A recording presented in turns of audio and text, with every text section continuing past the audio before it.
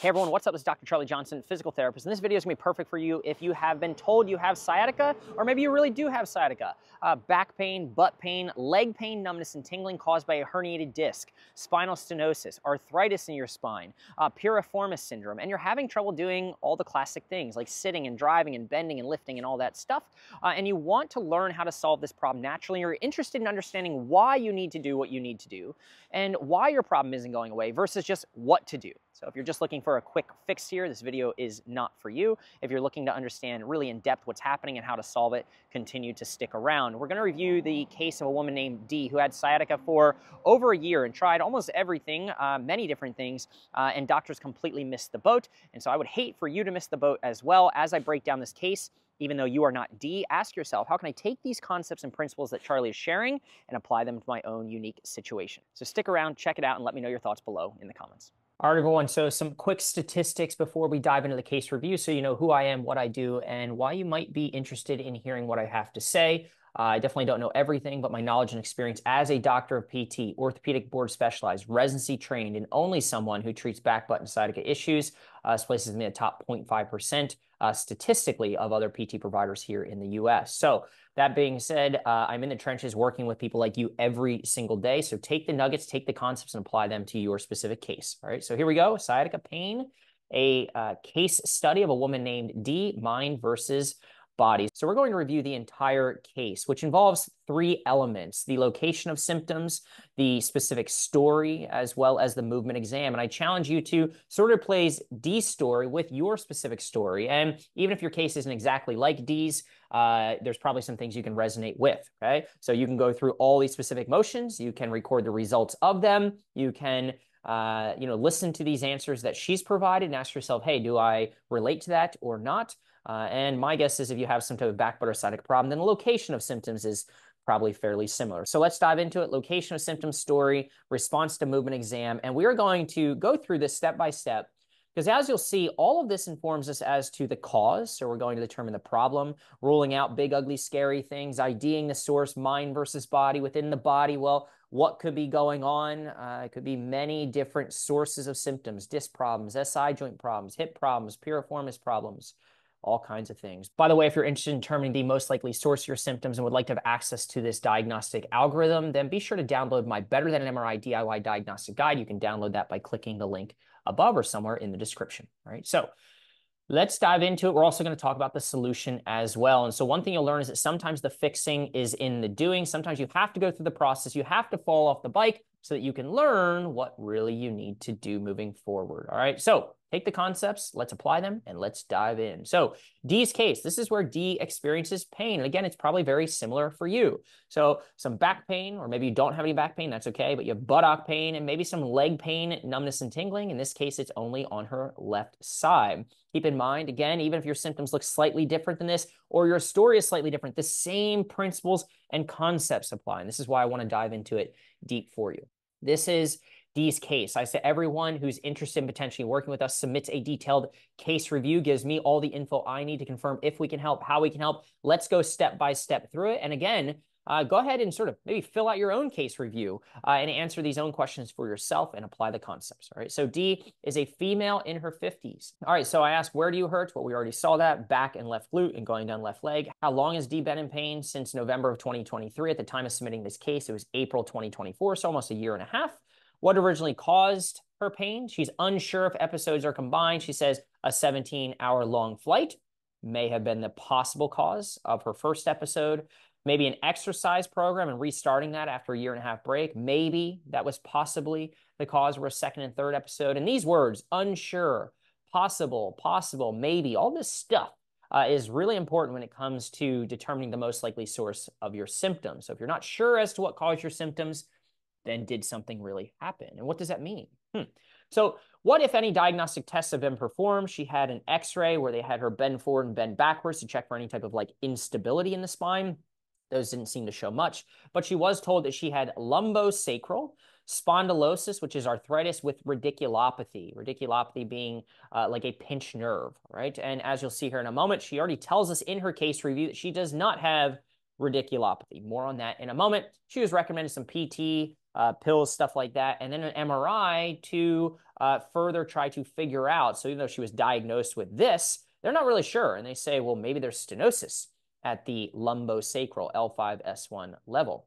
She went to the GP, maybe a muscle issue. The only tool you have is a hammer, everything's a nail. And so, of course, if the GP orders x-rays and doesn't really know much about back problems, nothing against them, they're GPs for a reason, uh, then they will say, hey, you you need x-rays or you have a muscle issue. And so if you have a muscle issue, well, then let's give you muscle relaxants to see what happens. And oh, by the way, I don't really know what I'm doing. So can you go to the chiropractor? And so she goes to the chiropractor and the chiropractor suggests that she has a locked SI joint. That just makes sense. Again, depending upon who you see will determine what you're told is wrong with you and the treatment that you get. And this is the way generally, generally, uh, chiropractors kind of view things as sort of a subluxation, more bony misalignment type of issue. Now, what do doctors or specialists believe to be a source of the pain? Well, they don't really know. Do you have a consistent day-to-day pain? She says, I've had good days and bad days. By the way, if you're watching this, you have some type of back butt or sciatic issue. If you have good days, then you can have more good days. You just need someone to help you, like we're going to do today, and like we did for D, put together the pieces of the puzzle to figure out what about what you're doing or what you're not doing is creating those good days. And then obviously what is creating the bad days. So we can study these peaks, good days, and these valleys, bad days and really figure out what's going on. Do you have delayed pain? Nope. Does your pain shifter spread or move around? Uh, it didn't, but now it has a little bit since starting chiropractic stuff. I ask questions about the psychology of pain. Does stress influence your pain? Yes or no? She says no. Being distracted influence your pain? No. Any significant life event? No. Um, what things make you worse? Sitting tying her shoes, trying to put on her socks, straightening the left leg while sitting and bending at the waist. What makes you feel better? There was general exercises early on that helped, uh, and now not as much, but she's using some CBD stuff and some ice. Now we have people go through a total body scan. I believe that you watching this know better what you're feeling than I do.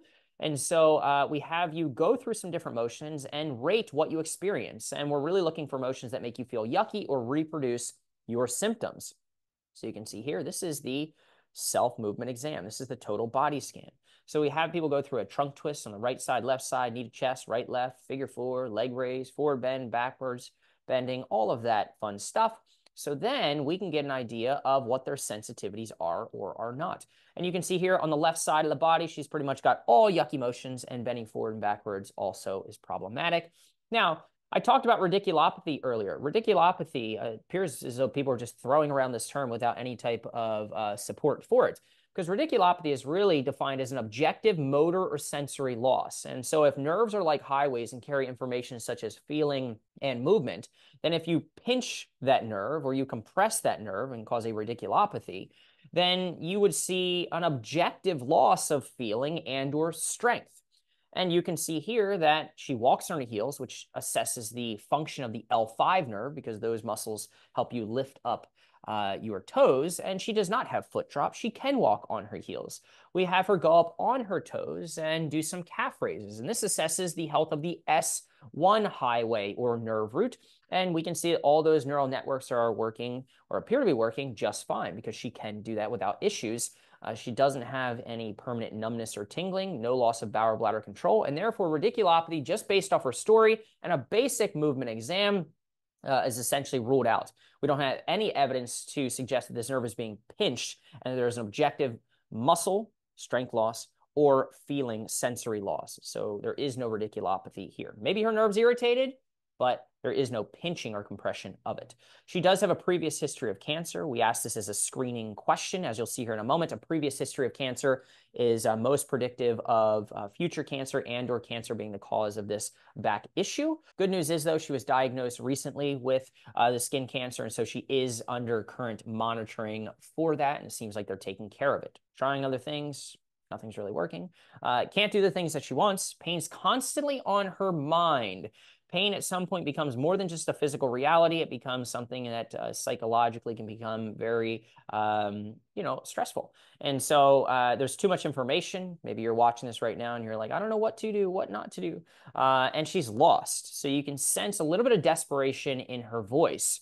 She's frustrated. She can't do things she wants to do. She's constantly preoccupied by this issue. She's lost, frustrated. Uh, there's a lot of information, and she just doesn't know where to turn. She says also she's at a pivot point. There's like this critical high pressure sort of uh, phase of her recovery that she's in right now. And she's not progressing with chiropractic treatment. Oh, by the way, I thought the chiropractor said it was an SI joint issue. Now they're saying it might be scar tissue. And so you can see how nobody really knows what they're doing or knows what's going on. Doctor did order an MRI. Um, why? I have no clue. Uh, and she already knows what I'm going to say about this. So let's dive into now the self movement exam. We already shared with you her results of this, but I would ask that you go through this as well. So do a trunk twist right one time and a trunk twist left one time. And after doing just one rep, I would ask that you would rate uh, and determine which of these motions, if any, are yucky. And when I say which motions are yucky, go ahead and score the yucky motion. So you do a trunk twist right, one rep, a trunk, trunk twist left, one rep. And is that trunk twist yummy or is it yucky? And are symptoms low, medium, or high? And you could do this for all of these motions on the right and left side of the body. Trunk twist, knee to chest, figure four, leg raise, forward bend, uh, forward bend center, to the right side over your right knee, to the left side over your left knee, backwards bend straight back, backwards bend to the right, you twist to the right and then bend straight back, backwards bend to the left, you twist to the left and you bend straight back. And we can get an idea of, again, do you have any yucky motions or do you not? Here's the deal it doesn't matter if you do or not. They're all just piece of the puzzle, and we're using the location of symptoms, your story, and the response to your movement exam to just get all of the different puzzle pieces on the table so that then we can analyze them. And what we had her do is we had her go through all these different motions, just like I'm saying you can if you want. Twist right, twist left, all that stuff. And you can see that uh, she's got many different yucky motions, several yummy motions, mostly on the right side of her body. But then she uses this little scoring system to give it some numbers and objectify it you, you can't manage what you don't measure is the idea. So this is one concept for you to take away. If you're just randomly trying a bunch of exercises and or going through your rehab uh, program and you're not aware of how to tell uh, if what you're doing is working or not working, or how to tell week to week if you're improving or not improving and why that's meaningful to you, then you're going to be stuck. And so simply measuring things uh, as you go throughout the process is really valuable to give you an objective versus emotional read. This way you can make decisions based off the data and the logic, not the emotion of how you're feeling on the good day, on the bad day, etc. All right, so figure four left, 90, leg raise left, 90, back bend left, 60. Then record your top three pain triggers. Maybe you're watching this video and everything hurts, sort of like it did for D, but I say, look, we got to limit it to the top few. Because if you chase two rabbits, you catch none. If you're trying to fix a million different things at one time, it's not going to go very well. So uh, sitting and driving and walking. Sitting and driving, this tells us when we go to the solution part of things that we need to first optimize that and we need to do some detective work to figure out what about sitting and driving is part of the problem. And how can we clean that up so you can become your own best anti-inflammatory? So we're going to start here. We're not going to start with walking. We could, but we're going to start with these uh, to highest pain triggers. Now, before we get into some things below, this kind of starts to begin talking about the solution, also the diagnostics of things, but um, this is making sense. There's a match here. There's a movement pain relationship that sort of makes sense. These movements are yucky and these activities are yucky. Now, why do I say that makes sense? Well, let's think of it like this. She has a yucky figure four, a yucky leg raise left, and a back bend left and she has trouble with these things. Well, if you have any of these yuck emotions, well, then you want to ask yourself, how are these yuck emotions showing up in my life? Because it's generally what you don't know you don't know that will keep you from getting better. So, for example, she's got a yucky leg raise on her left side. Well, of course, she's going to have trouble driving because that is a yucky leg raise. And of course, doing nerve glides and doing all kinds of stretches to that left leg, in this case, under the picture of the right leg, but will not help either. It might hurt so good in the moment, but if you're getting your hamstring stretch, or if you're doing lots of nerve flossing or nerve glides, and you're wondering why it's not working and or why it's making you worse, it's because you have a yucky leg raise, and that is a leg raise. And so sort of like a hidden picture book. These motions that are yucky show up in the triggers that are present in your life. And so we know that if we can improve these yuck emotions, then we can improve your ability to live life. And that's probably what you care about. So I don't care so much about these emotions and if they're yucky or if they're not. I mostly care that you start to understand and connect the dots between why, if this hurts, does this hurt? And it's because that thing, this independent yucky emotion, individual yucky emotion, shows up in how you're doing things. Maybe in ways you didn't know you didn't know. So again, if you have a yucky knee chest, you will have trouble if your knees are above the level of the hips. if you have a yucky knee to chest and you lean in at your desk because you're so in love with your work, then that is a knee to chest from above. The, the upper trunk is moving forward. A child's pose, your habits, your routines, reading in bed, squatting, the way you sleep, all that stuff. Really interesting stuff. So again, if you've gone through this, ask yourself, how are these yucky motions showing up in my life? And how could I start to think about different ways to go about modifying or tweaking those things so that I can find as much comfort as possible. So again, you can't manage what you don't measure. These things are lining up, makes sense. And now we move on to the next part. Let's synthesize this and let's crack the case. So when it comes to cracking the case, obviously we've got to uh, identify the most likely problem and have some idea of what's going on there. And then we can talk about solution. And what's interesting is that um, sometimes and so, as far as the problem, the first step when anybody submits their case that I want to be sure of is that they're in the right place and I feel fully confident I can help. So, uh, we want to rule out big, ugly, scary things cancers, fractures, tumors, infections, blood supply problems, all that fun stuff. And I want you to know, um, you know, if you're wondering, well, how do you do that, Charlie? You're just a physical therapist and you haven't ordered an x ray or MRI. In this case, she did have an x ray, but, um, you know, I, I think I want to get an x ray or MRI just to see what's going on. Well, we have studies and we have data to suggest not only how common these issues are, but what things we need to look for in the clinical exam and in your story and all that to um, determine whether or not we need to refer out to have that ruled out. So, for example, we know that of a thousand people who walk into, say, my office or a primary care office uh, with a complaint of back butt or sciatica problems, six out of a thousand people will have a tumor or cancer uh, as the cause of their symptoms. So a very low probability, probably more likely to be bitten by a shark and or get in a car accident or something like that. And we have evidence to say, hey, even if we haven't ordered an X-ray or an MRI, just based off what they're telling us in their story and their response or lack of response to a movement exam, well, do they have these signs and symptoms? Because if so, if there's at least three out of four of these, or if there's the presence of a previous history of cancer and is not currently under observation, or there hasn't been further diagnostic testing to be sure of things, then we will refer out. So if a previous history of cancer or three out of four, then we refer out for an x-ray. She's D has already had an x-ray and some blood work, maybe a, what we call erythrocyte sedimentation rate uh, to determine is there a presence of any like inflammation or something more systemic going on here. So age greater than 50, just because you're watching this, if you're over the age of 50, which D is over the age of 50, just recognize you don't need to run off and get an image. We're looking for the combination and cluster of these findings. So she's greater than 50. She does have previous history of cancer, but she's already had the x-ray, which is what we would refer out for anyways. She has no unexplained weight loss, and you could argue she's failed to respond to conservative treatment.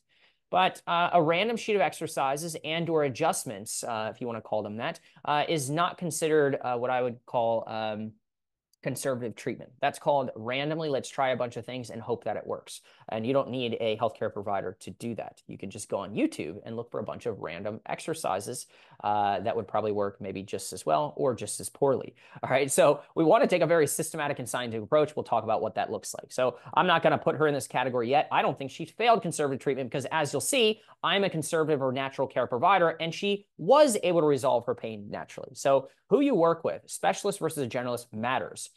Again, the reason this test item cluster is so valuable for you uh, is that cancer causing back pain can be ruled out with 100% certainty or sensitivity if the patient is less than 50, does not ex exhibit unexplained weight loss, does not have a history of cancer, and is responding to good, we'll say, uh, optimal conservative intervention. So, Dr. Charlie, do I need an X-ray MRI? I'm just worried because my mom had cancer, or I know a friend who had cancer. I get it. The fear of the unknown is very real. But at the end of the day, just recognize we, uh, we have some logic. Uh, we have a process for screening for these things with a high degree of, of certainty. So cancer, she doesn't have cancer. Now, fracture, there are stress reactions, stress fractures, and then there are other types of fractures. Uh, but we also are screening for things there. And this is the test cluster that we would look for. So are you a female? Males can also have fractures too, but are you a female?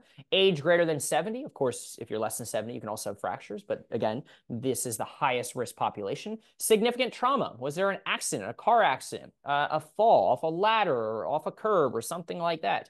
Uh, and, you know, is there something in your past that has significantly reduced uh, the bone density or, um, potentially weakened the bones. So steroids long term can do that. Uh, excessive use of steroid injections can do that into the spine or into other tissues. Also, history of smoking, excessive alcohol use, stuff like that. So if you're fitting these type of criteria, and again, not just one of these things, but multiple of them, if three out of four refer out, maybe fracture might be the cause.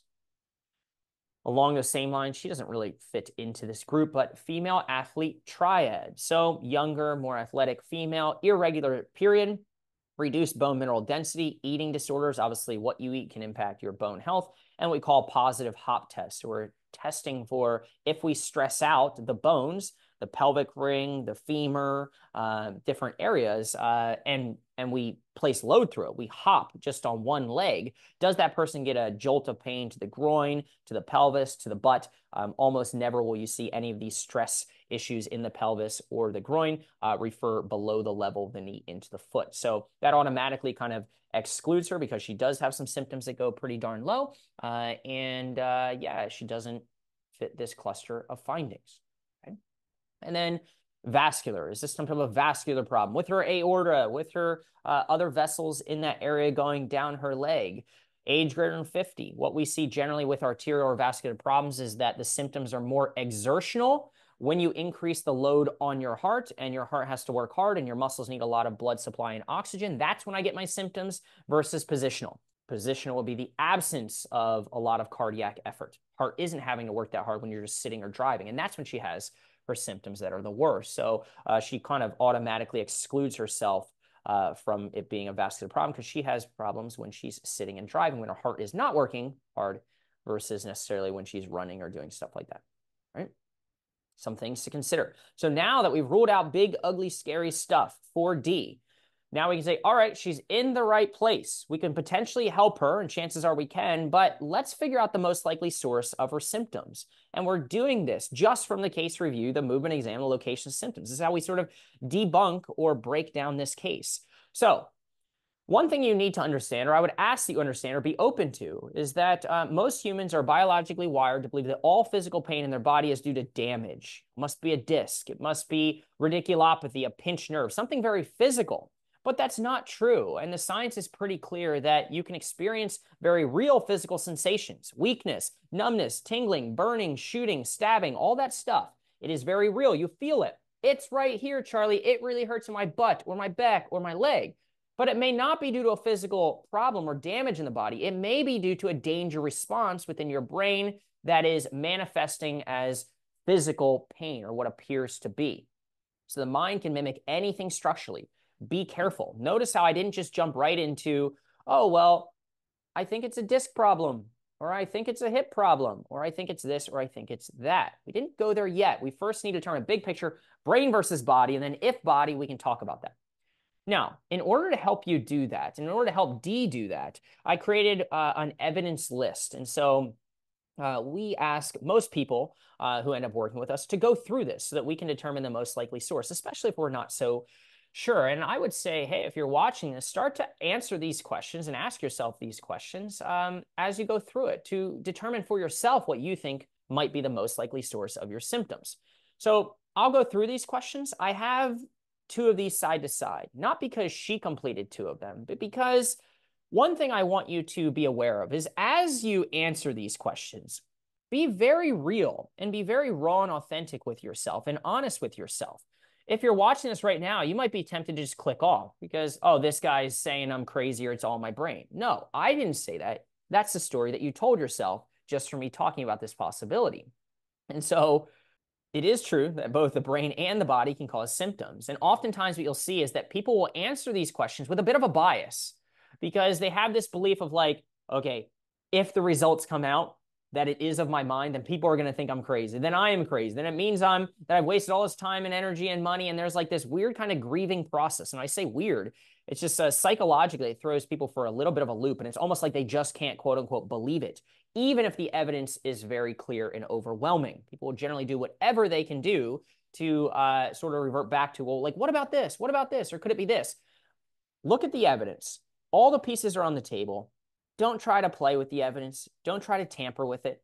just look at it for what it is. All right. So answer these questions as best you can.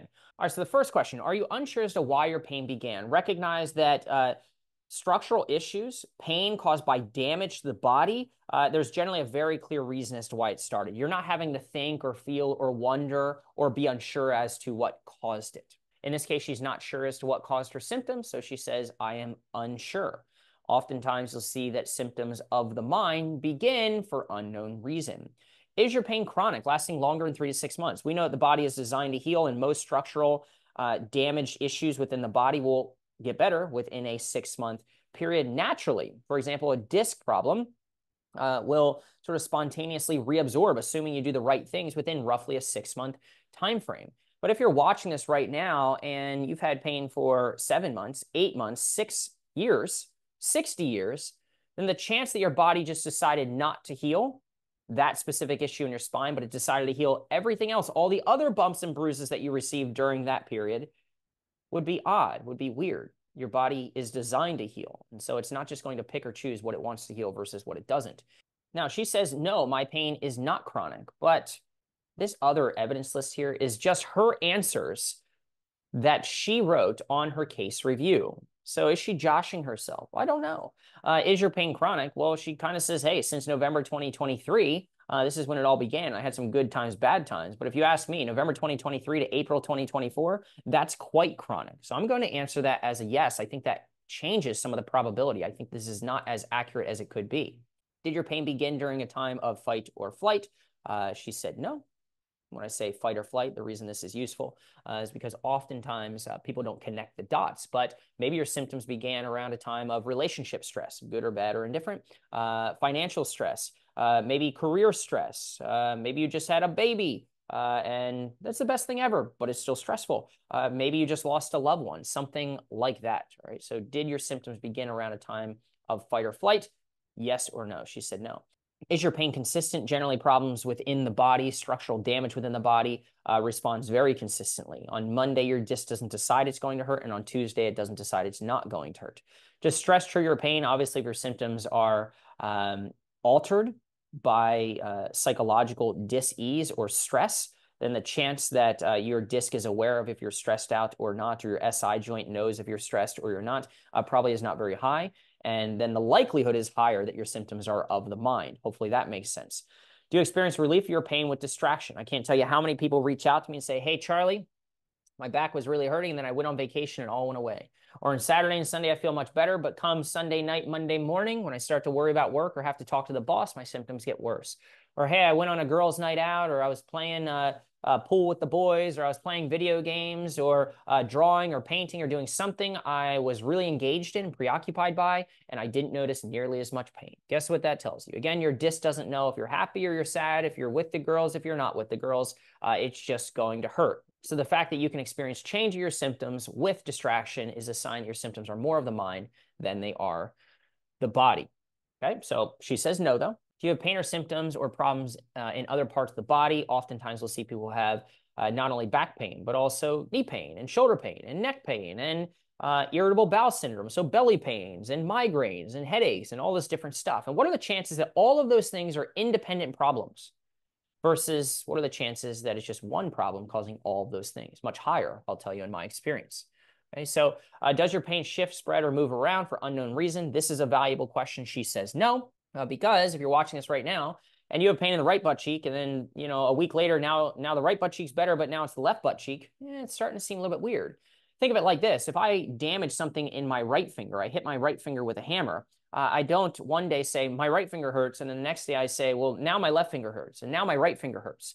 You see how it doesn't make a whole lot of sense. Structural problems generally elicit pain where uh, that tissue was damaged, and then they might refer pain elsewhere. But it's generally not jumping or moving or shifting around, and here's the key word, for unknown reason. Do you experience delayed onset of pain, meaning you feel okay while you're doing stuff, but the symptoms come on later, and then you blame that activity from earlier as to the cause of your pain later? Uh, that's weird uh, because if you think about it, if I damage my finger, again, whack my finger with a hammer right now, I'm going to feel pain now and later. I'm not going to say later, ow, scream out in pain, look at my finger, it's all of a sudden bloody and swollen, and say, I think it was when I hit my finger with a hammer. You see how that would not be uh, logical. Have you been given many or no clear diagnoses? She says, I haven't gone down the medical path. This is what she filled out. But again, I'm not sure I agree with that. If I look at her case review, which she also filled out previously, she has. She has gone to many different people. She has been given many or no clear diagnoses per se. She says right here, what do doctors, specialists believe to be the source of pain? They're not working together. So finding multiple opinions. So she has her own story as to why they're, you know, disagreeing. But the point is that she has been given multiple opinions or many different diagnoses. She was first diagnosed with uh, spondylosis or arthritis with radiculopathy. We talked about how that's not true. Then uh, general practitioner said muscle issue. She had an x-ray. Then the chiropractor says uh, locked SI joint. Then at a later point, the chiropractor said scar tissue. Nobody knows what's going on. So this is, yes, you have been given many different diagnoses and there's nothing really clear about it. She said no. Do you identify yourself as a high pressure, perfectionist, people pleaser, type A, good student? Dr. Charlie, I'll do whatever it takes. Just tell me what to do and I'll do your exercises all day, every day until I get rid of this problem. If so, yes. Why do I ask this? Because we know that people who get stuck in pain and have symptoms that are a bit more learned in nature, driven centrally by the brain versus the body, uh, live in a little bit more of a fight or flight, fix it, figured out, problem solving state. This sort of primes the nervous system for becoming a little bit extra sensitized. This generally works well for people as it relates to their career, maybe being a good uh, parent, things like that, good student, uh, but does not uh, serve them well when it comes to getting out of pain. Is it hard to identify yucky emotions that clearly and consistently re reproduce your pain? So uh, that's a no. Right? She had the yucky figure four, that yucky leg raise, and that yucky back bend. But if you are someone who went through this total body scan and you're like, you know what? I didn't have any yucky emotions. I had all yum emotions. Or you know what? Like the leg raise didn't bother me now, but it bothered me later. That's delayed pain.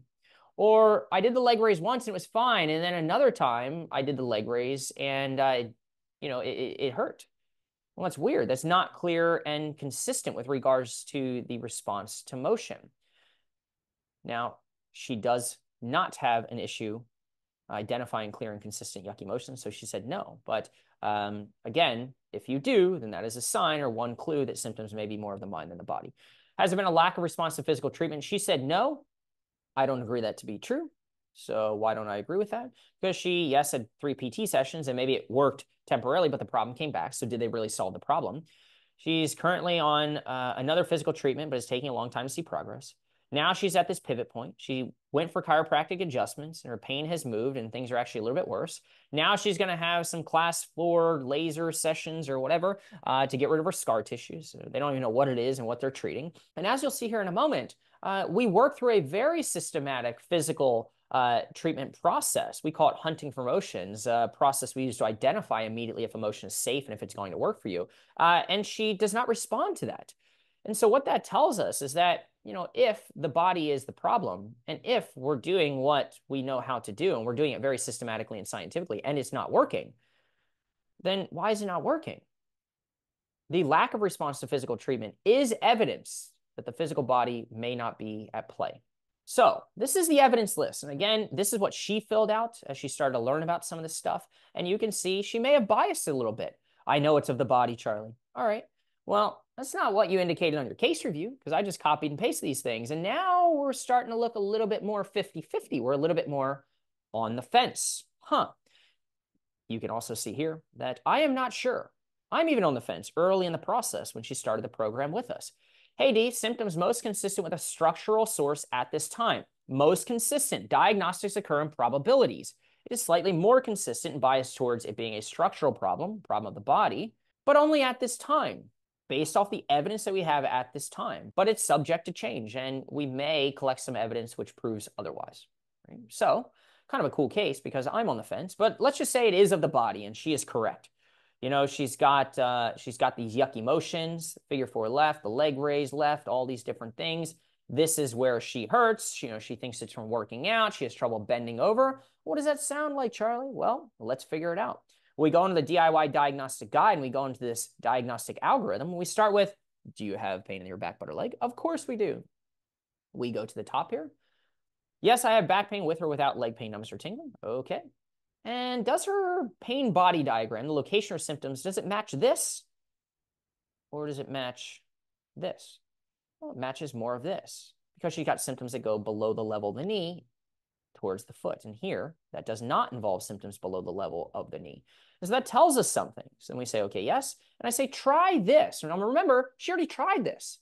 You can try this at home. If you've been led to believe you have sciatica, well, what we know is that we can be 95% sure that if you do not have this as a yucky motion, that sciatica is not likely the source of your symptoms, or that you don't have sciatica, that you don't have sensitivity to stretching or pulling on the sciatic nerve. So if you don't have a yucky leg raise, we can be very certain as a screening test that sciatica can be ruled out. Diagnostics is about ruling things in and ruling things out and shifting probabilities. It's not black and white. Yikes, that hurts. That did cause Dee's pain, and maybe it caused your pain. Sciatica, what could be causing it? There are many different causes. The most common would be a disc issue. So maybe they were right. Maybe they weren't, not with radiculopathy, but maybe there is an L5S1 problem. And the reason I say that is because then, based off the location of her symptoms, you saw that drawing, and I'm sure you have a location of symptoms that you can relate to here. Uh, she doesn't have any pain in the front of her thigh. She does have pain in the back of her thigh, but not in the front. So it's not L3. It's very rare, by the way. L4 nerve issue. She doesn't have any pain in the front of the leg. So again, it can be ruled out only in the back of the leg. L4 can cause pain in both.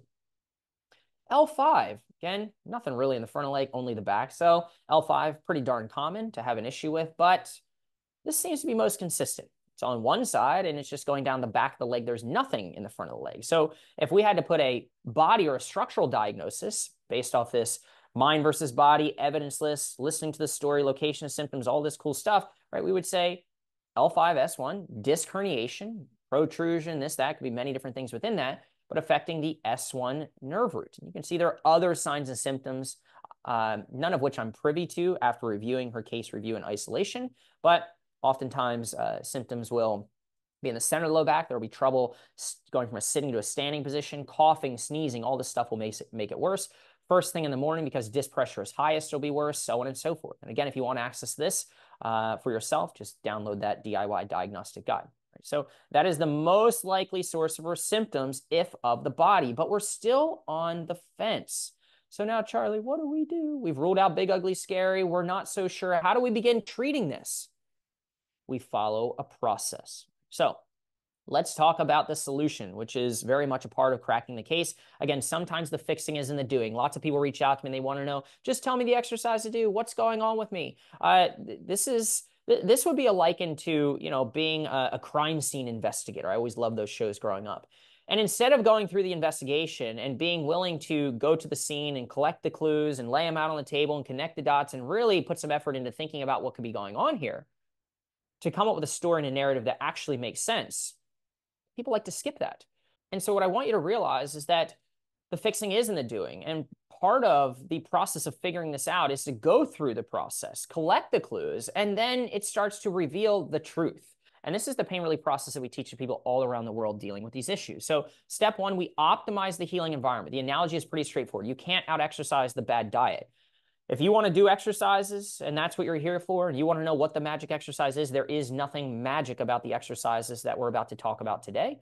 Um, there is magic in the process, this process. notice I don't start with movement as medicine because you can take all the best medicine, all the best exercises, motions. If you're constantly picking the scab mentally or physically, you will be frustrated and it will not work, guaranteed.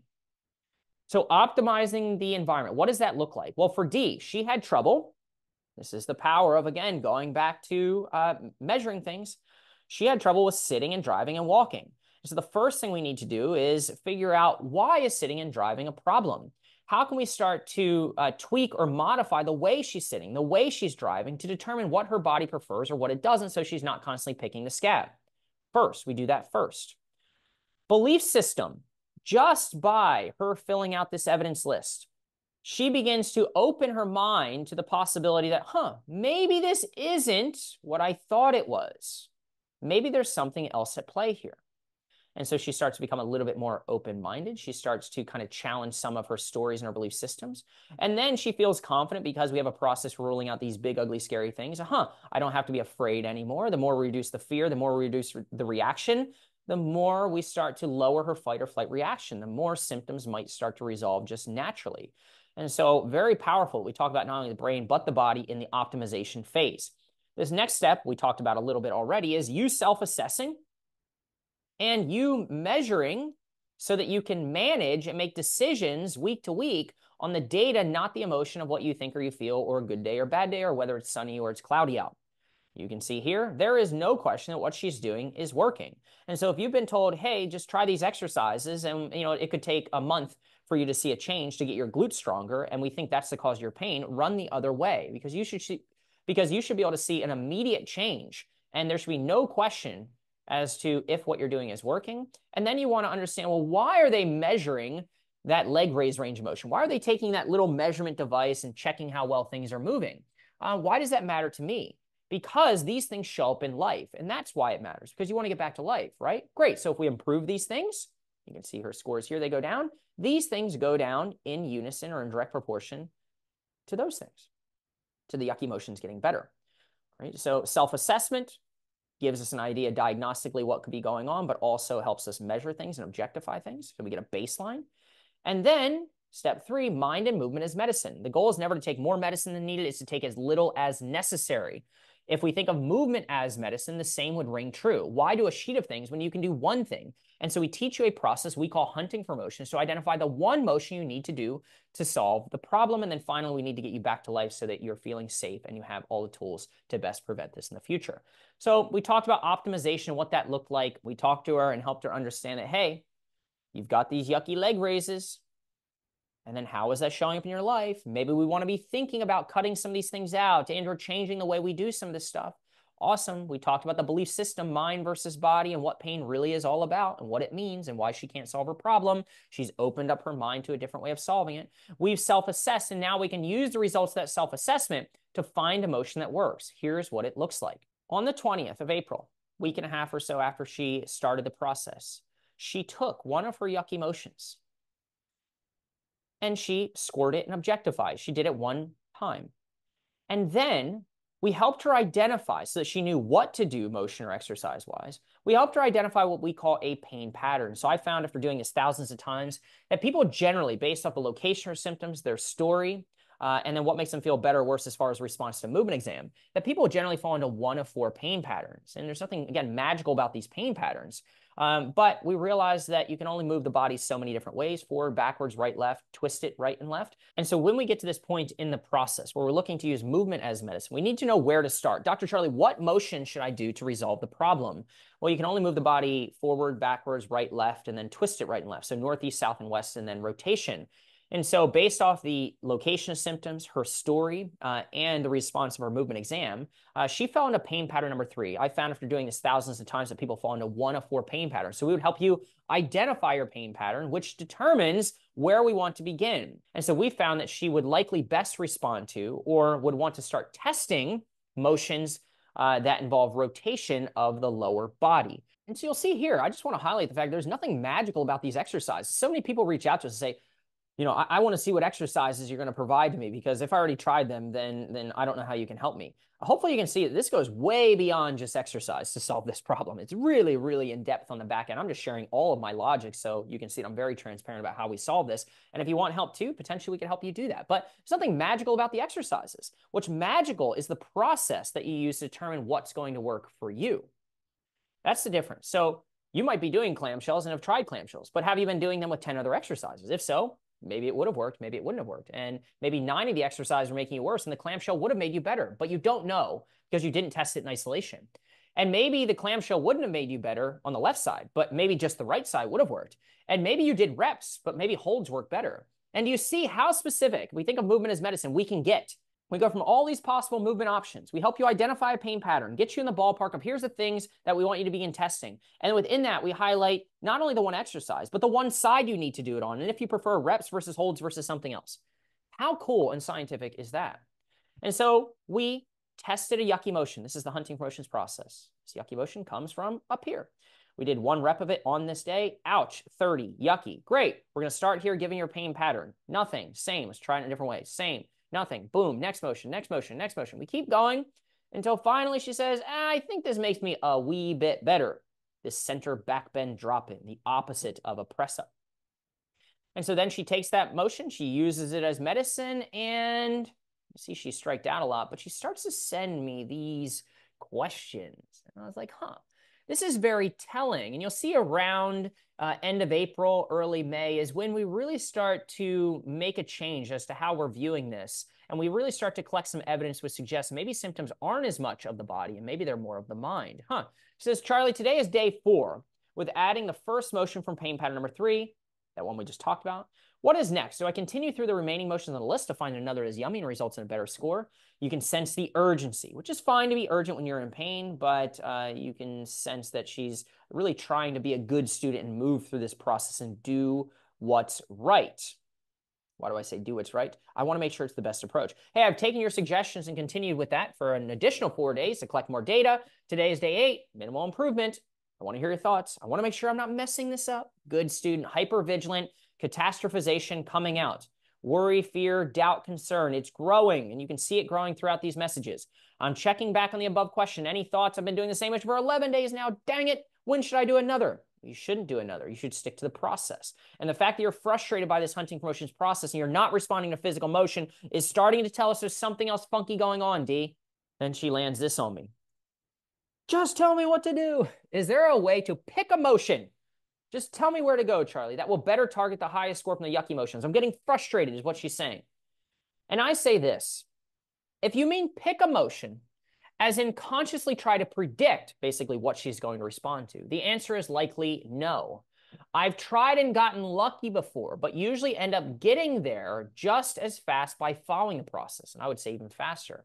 Pain patterns get you in the ballpark. Then testing reveals the truth. There's a lot of, um, I think there's a lot of wisdom in that statement. It's not because I just said it, just break that down.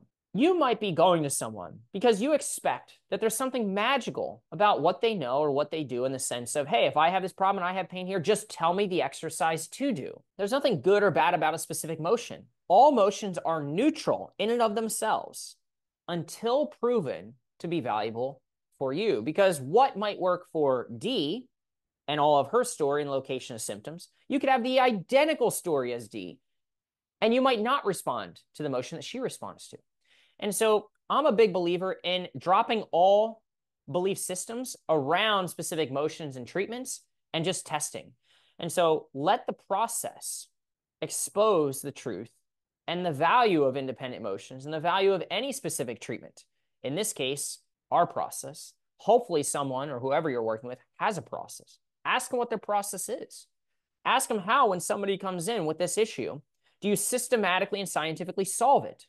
If they're changing their process every single time, if some days they work with you hands on and the next day you go on the bike, and other days you you start in the corner on ice and then you get hands on treatment when they're ready. They've already botched the process. The process changed. They will not be able to identify any pain pattern.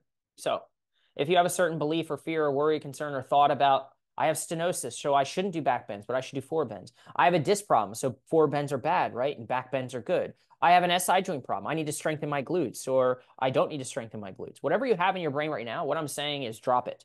Let this process of testing, treating, retesting show you the way. And she says, okay, good to know. I was hoping you had some super algorithm in your bag of tricks. There are no tricks. There are only concepts and first principles there is only a process, and the super algorithm is the process. And you can't beat the algorithm. All right. So consider that. Trust the process. If you follow the pain relief process, pain relief naturally follows because it tells you what to do. The fact that she was going through all these different motions and was not responding and sending me all that stuff and hyper focused on just tell me what to do. It's not working. I'm getting frustrated exposed to me even more evidence, which allowed me to get off the fence. Meaning, you see here, the unclear or inconsistent or lack of response to this hunting for motions very scientific systematic process that we just talked about is further evidence and gives me a lot of conviction and faith in believing that, huh, this is happening for a reason. She doesn't like the fact that she's going through all these motions and is not responding because she just wants to figure it out. But the fact that she's not responding is actually the best thing that could happen to her. Because without the lack of response, she wouldn't be willing potentially or able to have the belief and conviction in another way of viewing her problems. In the fact that maybe her symptoms are not of the body, maybe they are of the mind. So if you're not responding to physical treatment, that is a clue. And unfortunately, some folks, especially folks who are very glued to the diagnostics and the images and the results of all that stuff, and I know there's a problem here and I know there's a problem there, and they're a bit dismissive of the mind stuff and or unaware of it, is they'll just beat themselves down and they'll keep going through all these motions only to find that nothing works, things work temporarily, and or things make them worse. And so essentially there's no response. And so if you think of it, you know, if the body is the problem, something about the body via this systematic process, some input of the body, forward, backwards, right, left, rotation, right side, left side, holds versus reps, should change your symptoms and be the solution. But if it's not, then you need to call into question the origin of your symptoms. As frustrating as this is for people, if you never fall off the bike, you never learn how to ride it. And so this is likened to the way that some people need to fall off the bike. They need to keep falling off the bike and seeing something's not working, something's not working. Ah, that means I need to go a different way. If the brakes are the problem, folks, last analogy, and you go to 10 different mechanics and they all replace your brakes and you still have the same squeak, then guess what? The squeak was not due to the brakes. You told yourself or believed that your brakes were squeaking. That's a story you told yourself or someone else told you.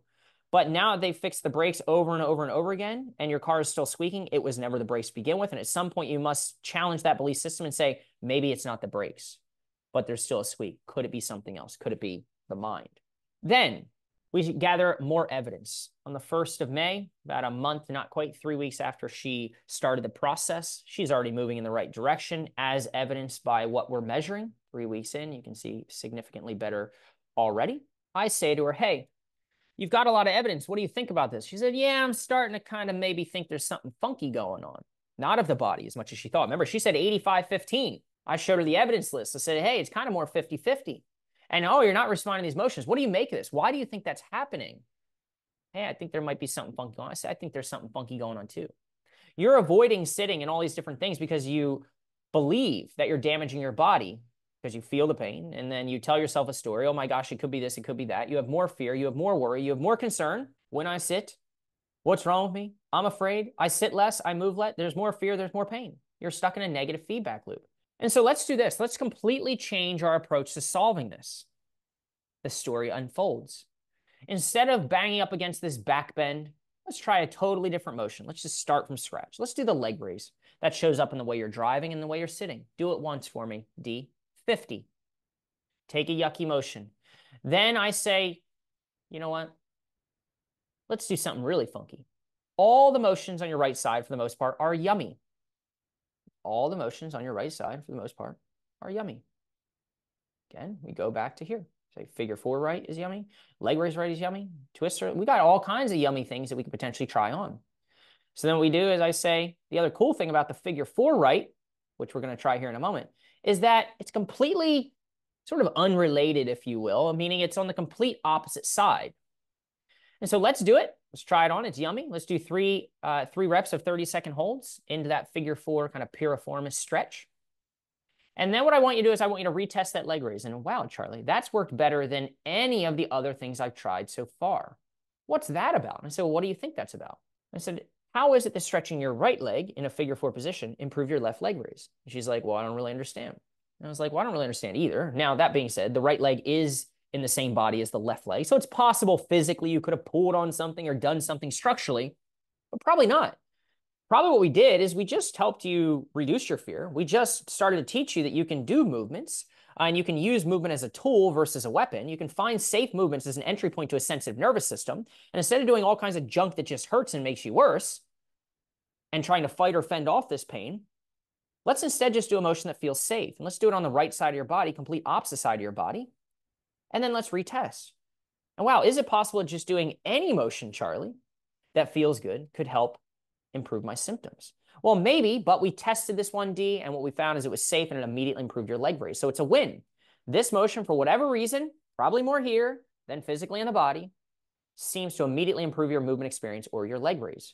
Great, done. We bottle that up and now you have a prescription. You can do 330 reps three times a day at a specific time during the day when you notice you're going to have your symptoms. Timing of the medicine is very important. And then that's what we're going to do. So that's the one motion. So just recognize that even if symptoms are of the mind, you can still use movement as a way to retrain your reaction to movement. You can still use safe, yummy motions and exercise to make yourself feel more confident, less fearful, less concerned. So you move more. The more you move, the better you feel, and to aid in changing your reaction to pain. So that's what we do. We said, hey, you've been trying to fight this thing or fend this thing off, going through all these different motions, getting frustrated. You've been doing this for weeks. You're uh, you're now opening your eyes to maybe a different cause of symptoms. Instead of trying to fix the pain, instead of being stuck in fix it or figure it out or problem solving mode, why don't we just work to change your reaction to symptoms? Here's the cool thing. This works whether your symptoms are of the body or of the mind. About 50% of the people we work with have symptoms that are very clearly due to some structural damage, a disc herniation, disc extrusion, spinal stenosis, facet joint problems, piriformis syndrome, arthritis, stuff like that. The other 50% of people, maybe someone like D, have symptoms that are more of the mind. And sometimes it's not clear up front. You have to go through the process to actually figure it out and weed through it. So we say, let's change your reaction to pain. This is very important. Again, regardless of your symptoms, the more reaction you have to symptoms, the more fearful, worry, concern, catastrophizing, meaning worry, doubt, research mode, all that stuff, it's not going to help you solve it faster. It's actually going to slow down your healing journey. So I said, hey, when you sit next time, right now, when you sit, you believe that damage, not danger, is the cause your symptoms. But now we want, we've gone through this and you have some alternative evidence and now you're more open-minded to the process. Is it possible that there is no physical damage, but instead your brain's making a bit of mistake and it's telling you there's danger, it's creating real physical symptoms, but there actually is none. It's perceived. Huh, this is weird, Charlie. So can we work on improving your sitting tolerance so that we can tip the scale towards safety? Mentally and physically. So again, pain is an experience of the brain and the body. Hopefully you've seen so far with this case review that uh, we need to consider both. They are very intimately connected. And unless you have someone who is really sharp orthopedically as well as psychologically, as far as understanding this uh, brain pain, body pain connection, this negative feedback loop that you see here, you could be stuck. And so generally what happens is something starts in your body when you're sitting, when you're bending, when you're lifting, when you're twisting, when you're at the gym, something like that. And then regardless of the cause, structural or not, your brain becomes a bit reactive, goes into fight or flight mode, protection mode. What's wrong with me? Oh my gosh, let me get the x-ray. Let me give the MRI. More fear, more worry. Let me not do anything, Charlie, until I get the results of my MRI. Bad idea. More fear, more worry, more pain. Boom, boom, boom, you're stuck. So I said, hey, the next time you sit, when you're sitting, instead of reacting to your symptoms and looking for the softest seat in the room or getting up as soon as you notice something, what if you were to sit there and observe your symptoms rather than react to your symptoms, as long as they're tolerable. And you know what? Uh, what she did is something really, uh, really smart. She started to sit, felt the soreness. Now, with the education and having faith and understanding what she knows, she started to say, maybe I'm not damaged and maybe this is a bit of a mistake. Okay, I'm going to observe it. And then she started to link positive experiences with her experience of sitting, which in the past had been negative or bad. She started sitting down and eating her favorite foods. She started sitting down and enjoying her favorite movies and giving herself permission to sit and experience some of the symptoms. Then she started to sit longer. Again, the fixing is in the doing. Had she not gone through this whole process, she would have never had the belief or conviction that she needed to actually go full in on the process and to trust the process. So now she's starting to trust the process a bit more because she's like, this is actually kind of working. And I know it's working, Charlie, because I'm measuring. And now that I'm measuring and I'm going through and I'm seeing all the evidence, I'm not just guessing, I'm testing. And I'm doing that one motion, that figure four on the right side to help my left leg raise. And I'm sitting longer and I'm starting to disassociate sitting with pain. I'm starting to break that position pain relationship.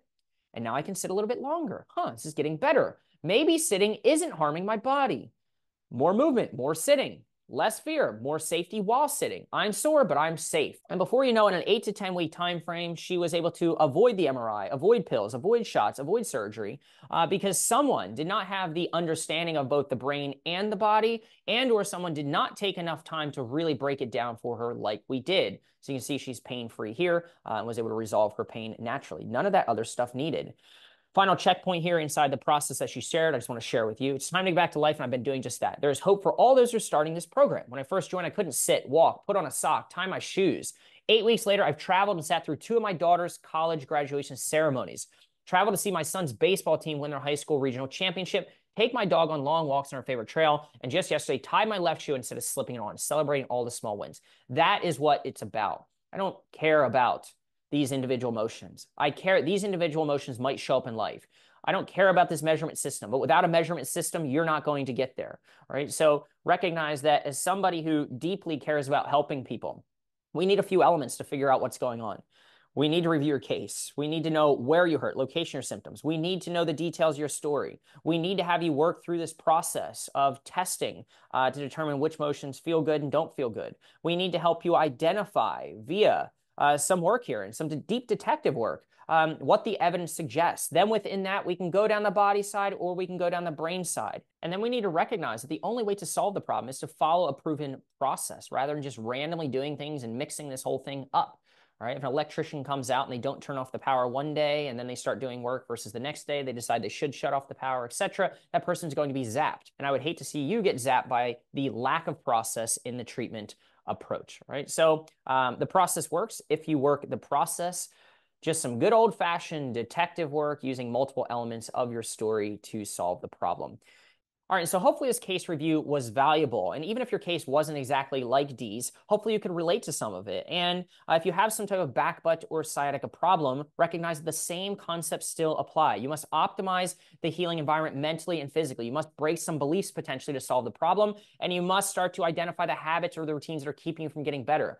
That being said, you can't manage what you don't measure. You must be willing to self assess and track progress so that you know what you're doing is working, not working, or a waste of time. Then we must use movement as medicine. One motion, not a million motions. Otherwise, how do you know if what you're doing is working or not working? And how can you feel confident getting you know, shots or surgery, knowing that you just did a random sheet of exercises. I wouldn't expect that to work. And then finally, we talk about prevention, getting you back to full speed, just like we did for D. And so if you're interested in working with us, just click the apply link uh, somewhere in the description and then follow instructions to submit that case review. And then let me know in the comments, was this helpful? What did you learn? Thanks so much, everyone. Chat soon.